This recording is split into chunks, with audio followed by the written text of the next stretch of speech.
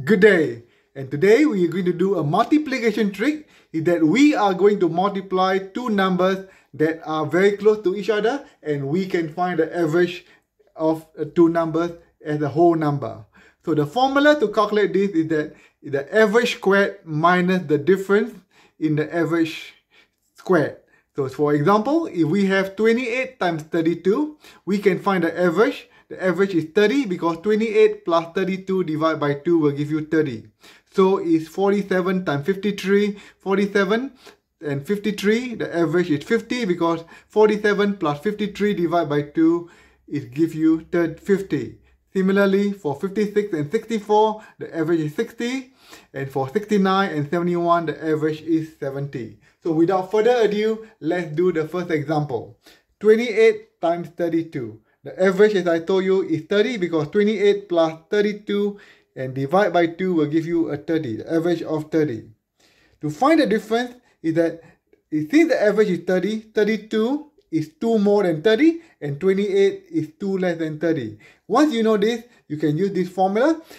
The formula is to calculate the number is going to be average squared minus the difference in average squared. So the average is 30, so we're going to put 30 squared minus the difference of the average. The difference is 2 because 32 is 2 more, 2 less than 30 and 28, sorry, 32 is 2 more than 30 and 28 is 2 less than 30. Okay, so you minus 2 squared.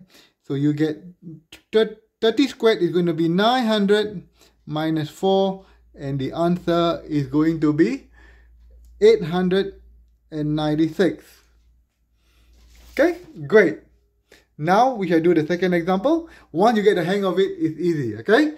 So now 47 times 53, the average is 50 because 50, the number in between 47 and 53, and the difference is 3 because 53 is 3 more than 50 and 47 is 3 less than 50. So the formula is going to be average squared. Average is 50 squared minus the difference squared, 3 squared, and then you can put 50 squared is going to be 2500 and 3 squared is 9 and the answer is going to be 2491.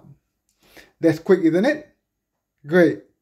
So next one we have 56 times 64. The average is again 60. 56 plus 64 divided by 2 is 60 and the difference is 4 because 64 is 4 more than 60 and 56 is 4 less than 60. So the formula is going to be 60 squared minus 4 squared is going to give you 3600 minus 16 and the answer is going to be 3584.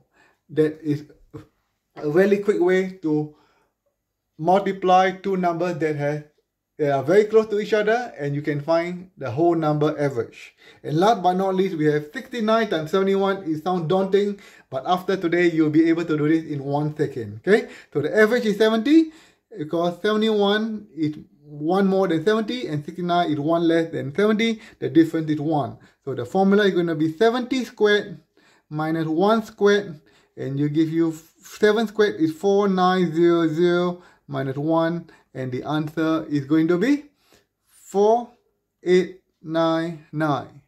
So technically, this is an awesome trick to learn and you should be able to do this in your head without the calculator. Cheers everyone and see you soon.